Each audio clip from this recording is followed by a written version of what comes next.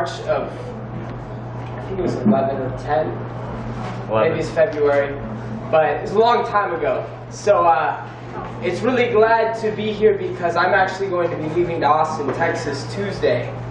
So this is uh, this poem's for.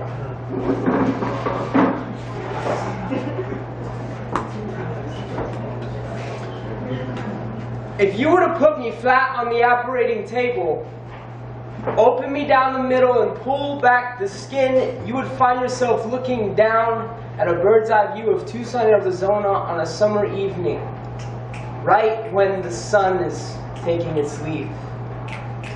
Right here at South Tucson, Barrio Centro, where I grew up. See, the bruise mark, that's where Miss Tiggy Winkles once stood before they removed my childhood. I once asked my mother where I came from. She told me she kissed the desert sand and inhaled an Arizona summer sunset, and when she exhaled, Tucson, Arizona on a summer evening manifested itself in her arms. Y'all, this moment right here has been 21 years and change in the making. When I would finally get the courage to stand up straight, put my shoulders back, look my hometown in the eye with all of our similarities exposed out in the open and say, Tucson, I'm leaving y'all.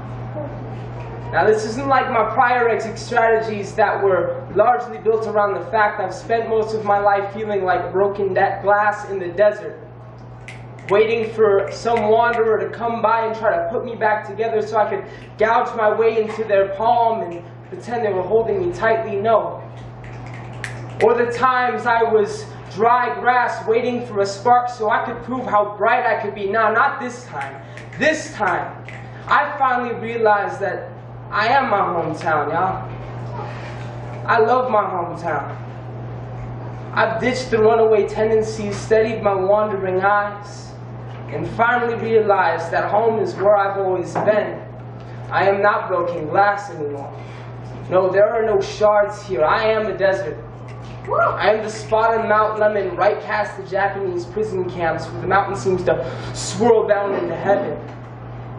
I am the wind on Ajo and where streets no longer want to cross it telling the saguaros to come dance with me in the moonlight when no one else is watching. I am 36 in Mission at 5 o'clock in the morning, watching the sunset come over the east mountain range, so beautiful you'd swear God was creating the world again. And this time I hope he gets it right off. I'm a desert, just like Tucson. And unfortunately, there's not enough room in this finite space for two deserts, let alone about a million of them. So I'm leaving you. Going away. But I've grabbed just enough sand to fill my pockets and cut holes in them. So if you ever need to find me, you know how.